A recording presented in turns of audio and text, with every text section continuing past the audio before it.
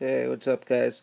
So I saw this funny clip a little while ago about Stephen Hawking and space travel, and it was just so utter nonsense. I thought I'd share it with you guys, so I put a couple other clips together to uh, show the real truth on what's going on with Stephen Hawking and how if anyone that looks into it is uh, clearly can tell it's a complete fraud. And uh, I saw a channel um, that was talking about how how he has lived so long, and so many people watched it. So many people have thumbed it up, and it just goes to show you how many people are unaware and deceived of what's going on, um, and how they just don't look into anything, investigate it, even question it to really realize what the truth is and, and how it is. So that's another thing that kind of motivated me to make uh, to make this video. I mean, there's just simple things like this even, this supposedly documentary, and he's not even eating. Look at as she puts the food into his mouth, all you can see is his glasses. They're zoomed right in on his glasses. That's not weird at all, you know?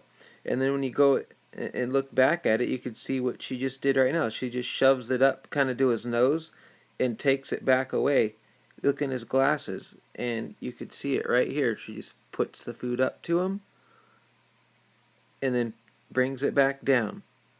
Clearly seen in his glasses reflection things like this just really make you once you kind of see it and realize it uh, makes you really wonder how much is being deceived out there to you you know? It almost becomes to the point where you can't believe anything unless you investigate it yourself and dig more into it because what you're told definitely is not true on a lot of means a lot of aspects of things um, by this perfect example here so take a look at a couple of these things and, and watch all the way through to see the space clip and uh, the stuff at the end because it gets pretty comical on how ridiculous and obvious this is. I mean, he's just straight up uh, disposable and, and then comes back, the puppet, to go directly to the agenda on what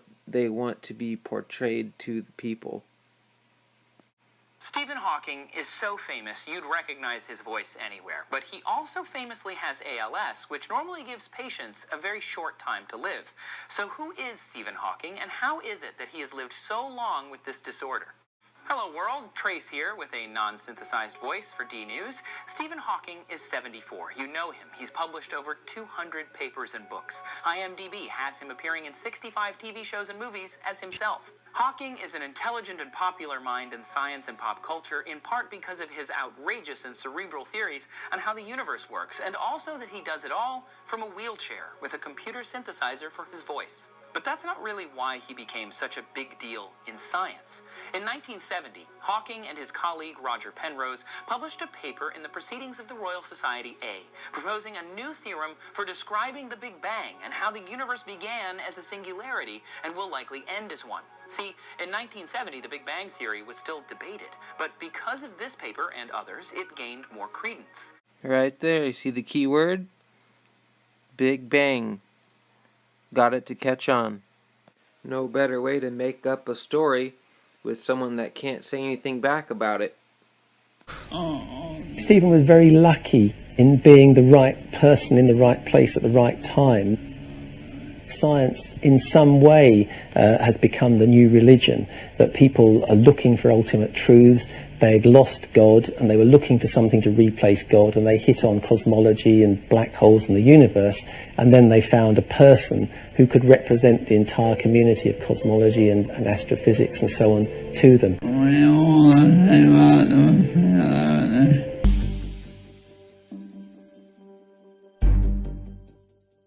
World-renowned British physicist, Stephen Hawking, has made a prediction about humanity. According to the scientist, the human species will not last for another 1,000 years until it escapes Earth to inhabit some other planet in the universe. During the session, Hawking emphasized on how scientists should keep looking into the space for the future of humanity and that people should continue to show interest in space. I've been lucky. I've lived an extraordinary life, exploring the universe and attending the odd party or two. But imagine I could go anywhere and see anything. Well, in this bad boy, I can. Give me a break! Join me on a fantastical trip to my favorite places.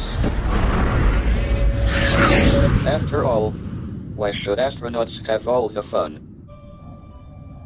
We've all seen computer animations of the Big Bang. The big explosion, the flying galaxies, and us. But that's not right. It was far more elegant and strange. To see what really happened, I'm going to wind back time. As we go back, everything converges.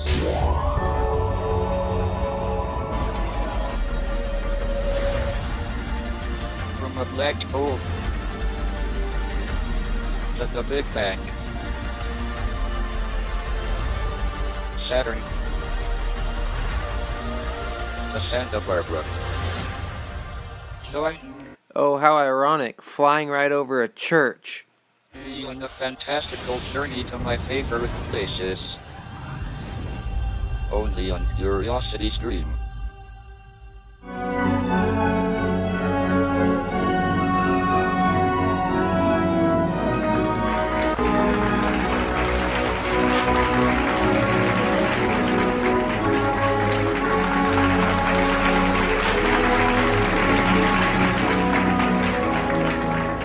Dreadful disabilities prevent Stephen Hawking from speaking a word, but he's risen above them to become a brilliant mathematician and teacher. Using a computer-driven voice synthesizer, he's told the world how the universe began. And now he's seeking the ultimate theory of how it works. Stephen Hawking, you use a mathematical concept that you call imaginary time, which seems to be able to run backwards as well as forwards. In our theories, there are two kinds of time. There is what is called real time.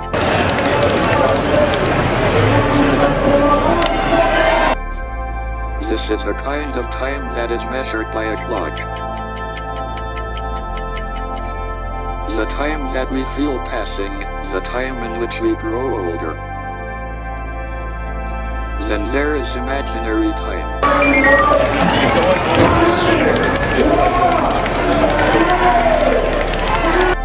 Of course, imaginary time is an idea that science fiction writers, like Arthur, have used in their stories.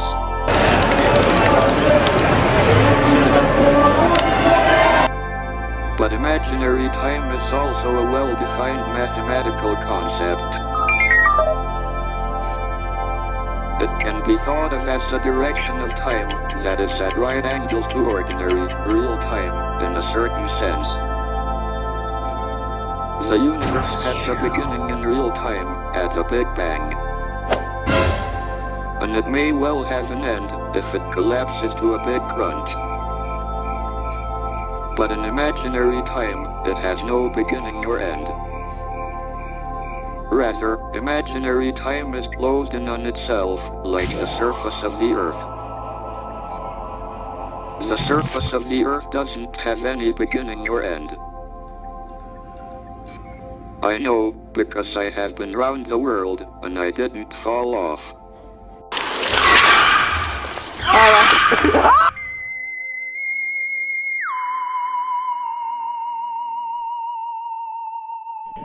In the late 1970s, black holes were sexy.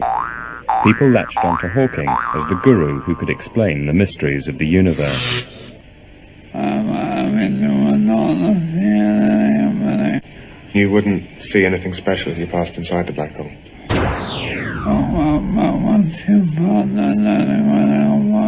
But once you pass a certain critical point,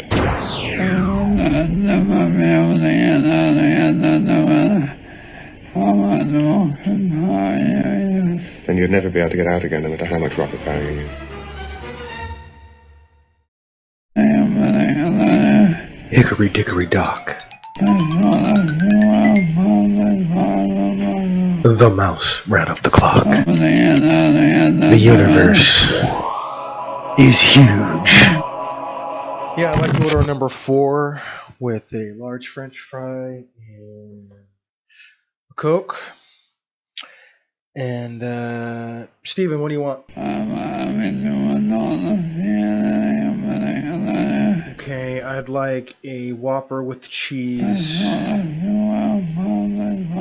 Hold the tomato.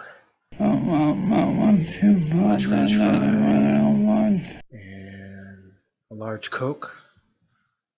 What's that, Steven?